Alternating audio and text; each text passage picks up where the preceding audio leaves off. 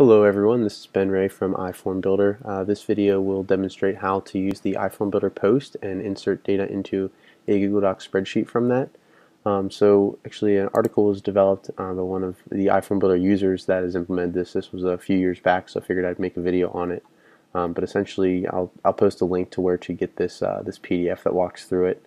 But actually we'll click on this URL in here and first what it's going to do is have me sign into my Google account and it's going to make a copy of the spreadsheet that this user has provided us. Um, so I'm going to hit sign in here. Yes, please make a copy. Um, now that I have a copy built here, what I can do is I'll be able to go in, uh, we'll see there's three different tabs here, iForm data, where the data is going to be housed, which will change these columns to match the columns that I have in my form.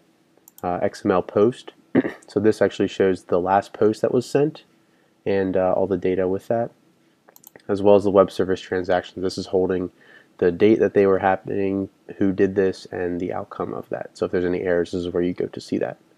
So what we're first going to do is go into Tools and then Script Editor. Um, now inside of here, we're going to see this script that this user has put together for us, and this shows for his post example how, how to make this possible. Um, so a few things we're going to have to change here to make this work is first the spreadsheet name. So this is how we designate what spreadsheet the data is going to be going into. So I'm going to go to this spreadsheet here, copy the key here at the end, and all the way up to the hashtag GID. So copy that. Now I'm going to go in here and I'm going to paste this right into here.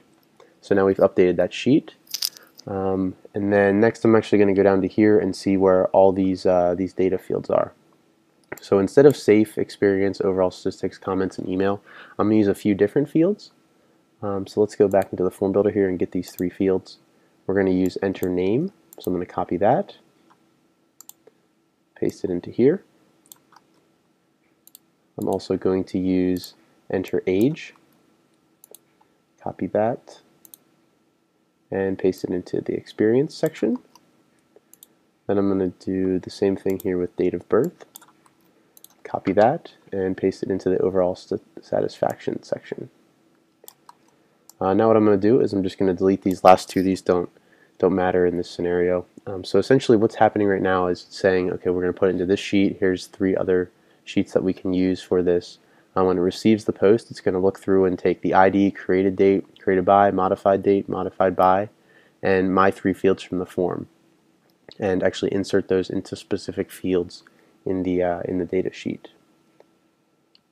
So that's all we'll have to do there from a setup perspective. Um, now I'm going to go back into the sheet here and just change these to the, uh, the correct ones. So I'm, first I'm going to just delete all this data out of here.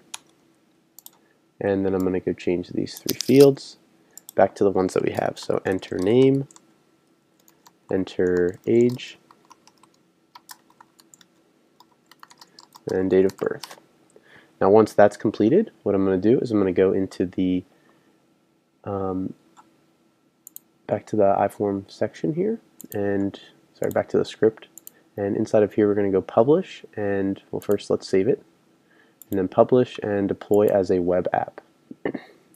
Um, so what we're going to do is we're going to name this version here. So uh, version 1 save a new version and project version 1 who has access anyone even anonymous. So we will deploy this. Um, hit OK and just to be safe, what I'm actually going to do is I'm just going to create one new version of this um, and make sure we have everything set up from the, uh, the Google Docs side. Um, so before I build this next version, there's one thing we have to do in here. Um, we have to use a specific key here. So I'm just going to use this as Ben test. Now this is going to be used in the iForm Builder post section as well. So I'm going to say Ben test. Let's save this.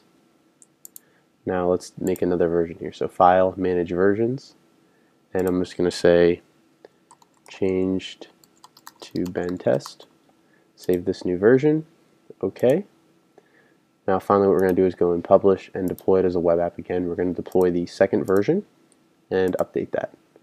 Now here's the URL. So whenever we hit this URL, it's automatically going to run this do post function here above. So I'm just going to paste this in here to see what URL we're using and what it's actually going to execute. Um, so once that's complete, what we got to do is go into Forms and Form Assignment in iForm Builder.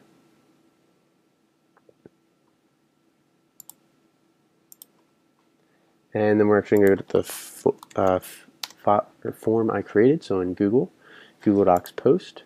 I'm going to hit Assign. And in here, we're going to actually be creating a new endpoint, right? So I'm going to go into here, choose New Endpoint. I'm going to call this send to Google Docs. The URL is what we copied from Google.